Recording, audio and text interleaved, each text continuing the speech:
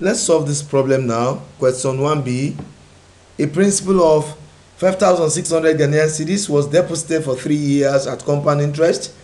If the interest earned was 1200 Ghanaian cedis find correct to three significant figures the interest rate per annum. Let's solve this. We start by putting down the things we're given. The principal is given to us here to be 5600 Ghanaian cedis so I write that 5600 and um, the interest or the time the time is three years. And the interest if the interest end was this is the interest 1200 Ghanaian cedis 1200 Ghanaian cedis now we're talking about compound interest.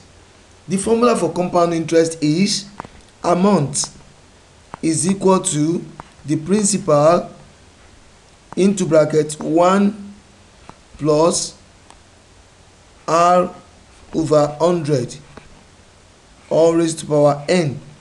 The r which is the rate is not known.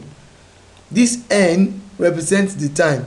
That means n represents time which is 3 in this our case we find amount by adding principal to the interest. We've been given the principal and the interest separately. So if we add the two together now 5600 plus 1200 that's the principal and the interest added to give us the amount. That's going to be equal to the principal which is 5600 into bracket 1 plus r over 100 raised to power the time which is 3 in this case.